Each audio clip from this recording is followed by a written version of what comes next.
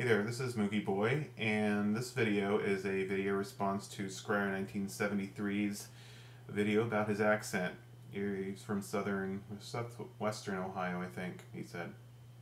And um, and when I heard his when I heard his voice, I didn't really hear much of a southern Ohio accent. Um, honestly, I heard more Baltimore or even Canadian. Um, and um, at least that's to my ears. And I grew up around um, a lot of people from Southern Ohio. My dad was one of them. Um, but my neighborhood in Columbus was filled with people who had relatives and such from Kentucky and West Virginia.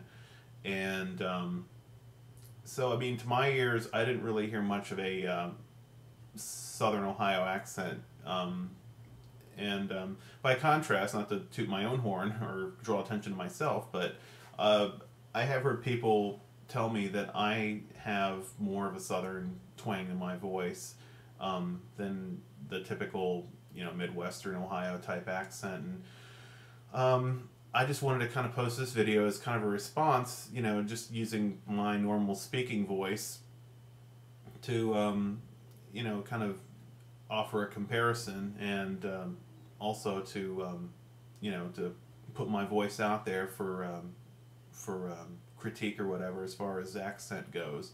Um, I don't know if it's I don't know how much of a southern accent I have. I never really heard it myself until my um, until my girlfriend pointed out. And of course, she's from New Jersey, which is where I'm at right now.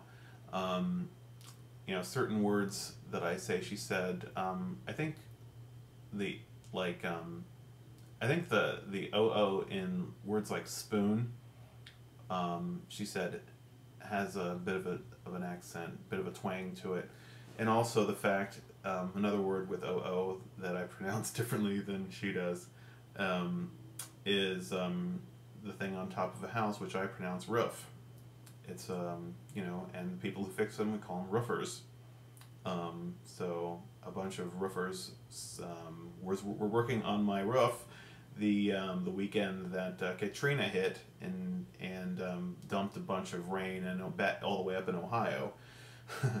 um, just an example.